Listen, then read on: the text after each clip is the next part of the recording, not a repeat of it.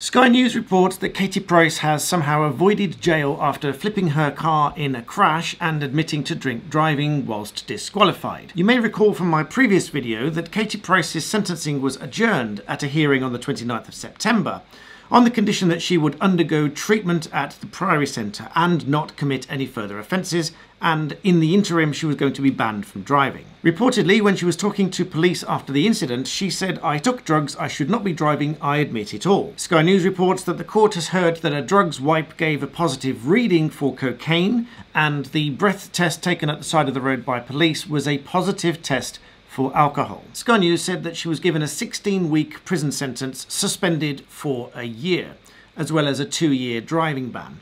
A suspended sentence means that you do not go straight to prison even if you're given a custodial sentence if that sentence is suspended.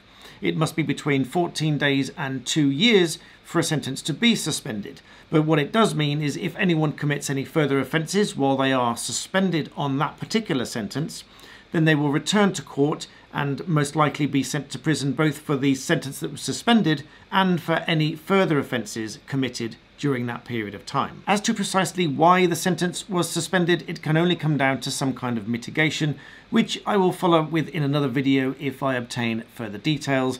But in the meantime, thank you for watching.